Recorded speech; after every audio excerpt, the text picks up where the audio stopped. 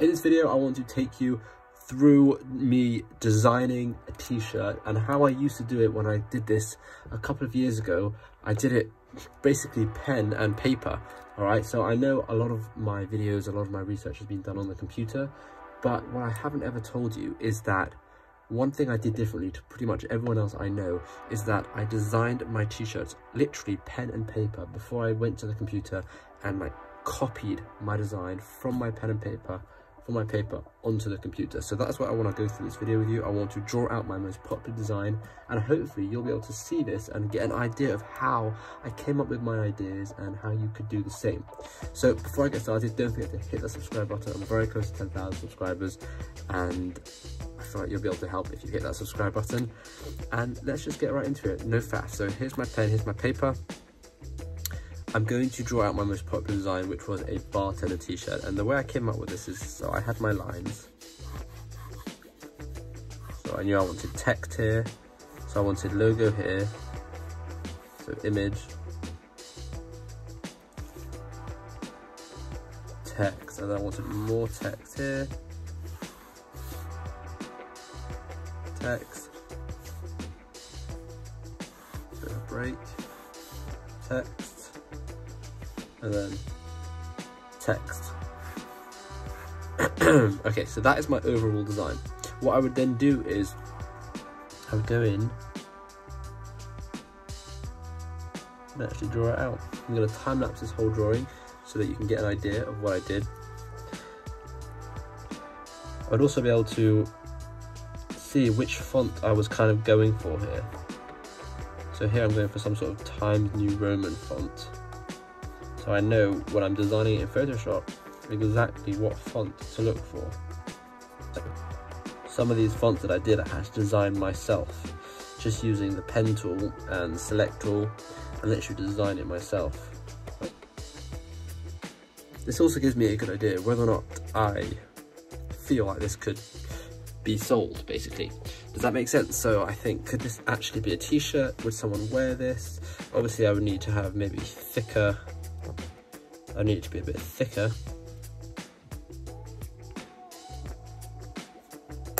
Right, and I could probably colour it in. I could see potentially what colours would work. Orange work, right? And by doing this, it kind of allowed me to really see if it would look good. And sometimes even keeping these lines in here is quite a nice, quite a nice touch.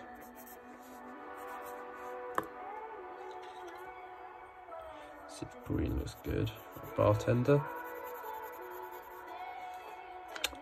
Green would actually be quite good if it's St. Patty's Day and I'm making some sort of bartender t-shirt.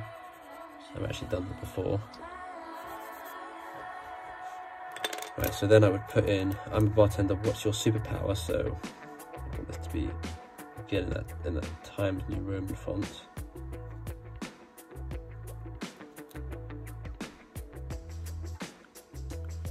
Again, it doesn't have to be clean. It's not about it being clean. The whole thing would have to be obviously thicker.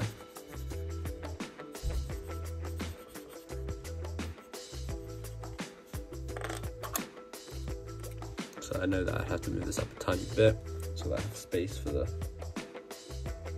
your and the superpower I would kind of want in a different font I'm thinking so maybe have like a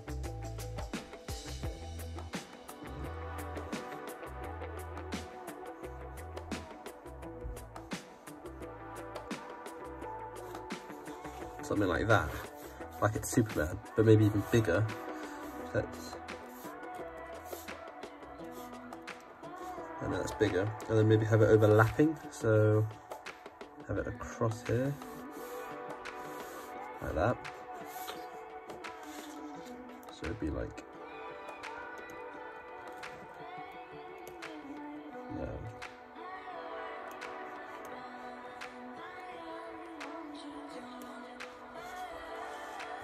that.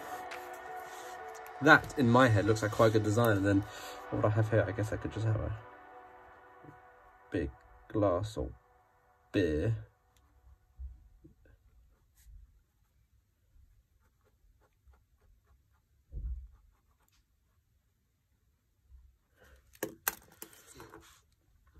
This design, how much did this design make? This design made thousands, thousands and thousands. And it's it was that simple. It was literally me on a piece of paper, drawing out my ideas, designing what I thought would work, what wouldn't work. And that's pretty much what it led to. It led to something like this. And then I would go to Photoshop or if I didn't know how to use Photoshop and I was just pretty good at drawing, I would give this to someone on Fiverr and say, take a picture of it and say, this is what I want in Photoshop. Can you please make something similar? They would know, okay, that's Times New Roman. This is probably some sort of made up font they could figure out, Times New Roman, and then some sort of calligraphy font over here. So just it's so much easier working with pen and paper and seeing what works, what doesn't work. And this is just a text-based design. As soon as you throw in some sort of uh, pictures or logos or anything, drawing on a pen and paper becomes so much better. If you want to see more of these videos, take you off here. If you want to see more of these videos, then please let me know in the comments down below. I'm happy. I can happily make more time lapses of me doing my most popular designs, and maybe not even my most popular designs, but just designs in general.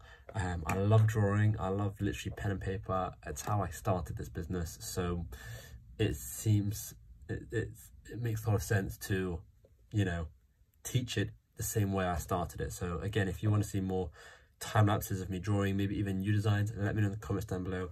Thank you so much for watching and I'll see you in tomorrow's video.